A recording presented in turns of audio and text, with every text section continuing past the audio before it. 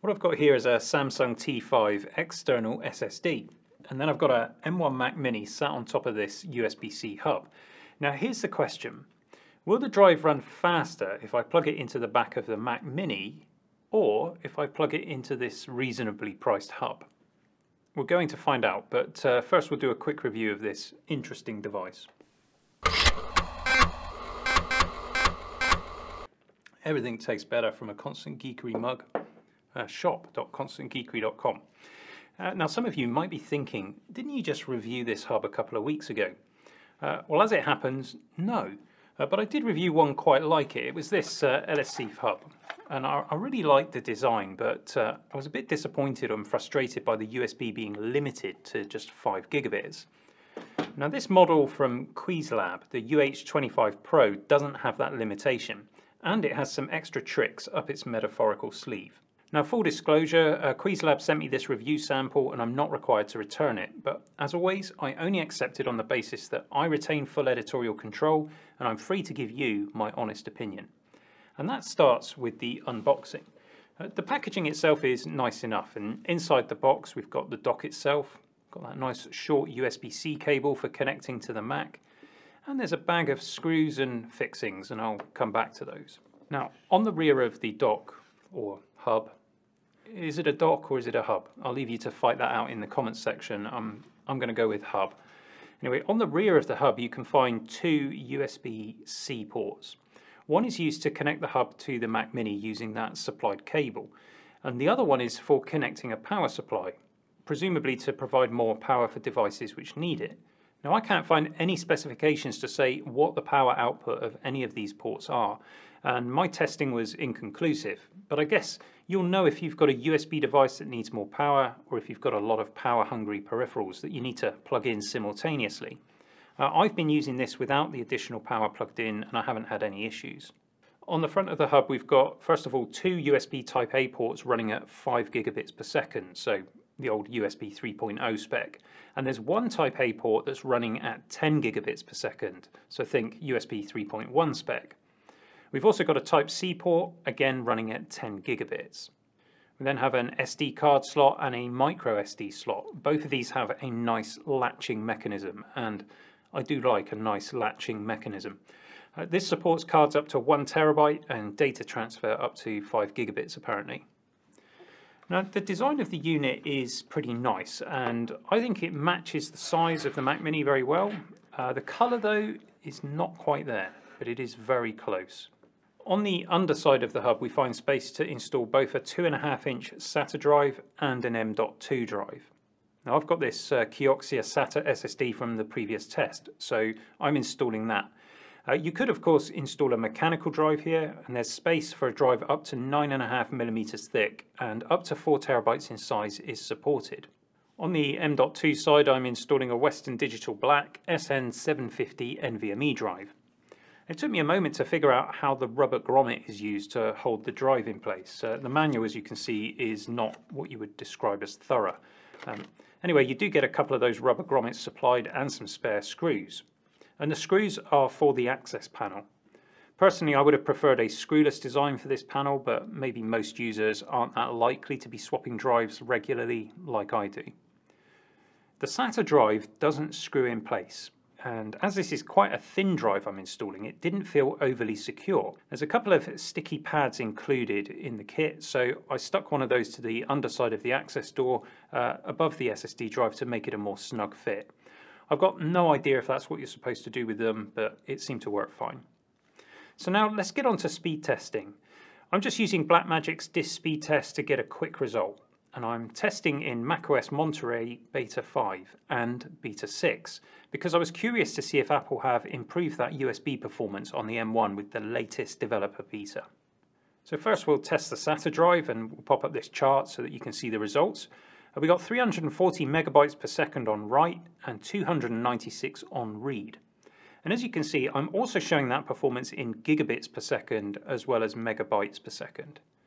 There are of course 8 bits in a byte and bandwidth for things like USB is usually expressed in bits whereas drive speeds are typically expressed in bytes so I thought it might be helpful to have both. Moving on to the NVMe drive, we got 598 on write and 575 on read. Now this drive is capable of much higher speeds than that, but in this setup it will of course be limited by USB bandwidth. What I did then is installed the latest Monterey Beta 6 and I redid the tests. And this time the SATA drive scored 349 on write and 295 on read. Uh, so basically no change with the new operating system. Um, but the NVMe drive now scores 618 on write and 680 on read, and that is a considerable uplift. Uh, but I can't be certain that the test I did in Beta 5 wasn't an anomaly, and it's not simple to roll back the OS to retest it. So take that with a little pinch of salt, but it is possible that Apple are improving the performance of those drivers. And that brings me back to our intro question. This T5 drive is capable of speeds of around 500 megabytes per second on an Intel Mac or x86 PC. Uh, let's plug this drive directly into the back of the Mac Mini and test it. Now, I did these tests in the latest Beta 6 by the way, and the T5 scored 318 on write and 386 on read, which is some way short of the drive's potential, but it's exactly in line with what we have seen from the M1 so far. But what now if we plug this T5 drive into the USB-C port on the front of the Qwiizlab hub? Well now we get 401 megabytes per second on write and 444 on read. So yes, it runs faster through the hub. 26% better write performance and 15% better read performance. Still a little short of full potential, but I'll take those performance gains. So what's going on here? I do have some ideas, but I need to do a bit more testing. If you've got any thoughts, let me know in the comments section. And just to help, here's how the system report sees the USB device tree. Another question that I wanted to answer is how fast can you transfer files between the two drives that are installed inside the hub? I used a 26.35 gigabyte file to test. First of all, I copied from the NVMe drive to the SATA drive, and that took 1 minute and 13 seconds which equates to 361 megabytes per second. Uh, that's slightly better performance than we got with the Blackmagic disk speed test. Going in the other direction, copying from the SATA drive to the NVMe drive, it took 1 minute 34 seconds. So that's about 280 megabytes per second. Just slightly slower than we saw in the Blackmagic test for read speeds on the SATA drive, which of course is what is going to be the limiting factor here. So I'm pretty impressed with that performance, we're not seeing massive slowdown due to USB bandwidth limitations. Uh, when it comes to cost, this Qwiizlab Hub is currently on offer on their website at $80, and I'll put a link in the description for that. Uh, they did also say that they'd provide a discount code for viewers of the channel, so if I receive that, I'll add that to the description. Uh, the channel doesn't make any money from any sales that come from that. Now overall then, this product delivers exactly what it promises, and at this particular price point, I don't think there's much to complain about. It's a great solution for expanding your 2018 Intel Mac Mini or an M1 Mac Mini. And in the case of the M1, it potentially offers a performance boost with your external storage. Being able to have both NVMe and 2.5 inch SATA drives installed is absolutely fantastic. Uh, I'd personally put a large SATA SSD in there for storage and then have an NVMe drive for working space.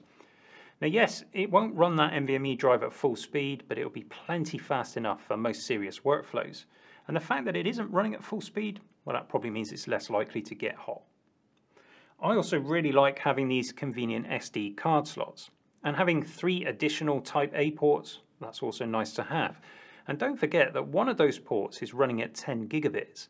Of course, we are only connected to the Mini via a single 10 gigabit connection, so you're not going to be able to run multiple devices from the hub at full speed. But still, it's a nice extra to have. And the form factor itself blends really nicely with the design of the Mac Mini. So it gets a thumbs up from me. What do you think? Were you surprised by that performance with the T5 drive? I'm really looking forward to reading your comments, and as always, thanks for your likes, your shares and your subs. I'll see you again soon for some more geekery.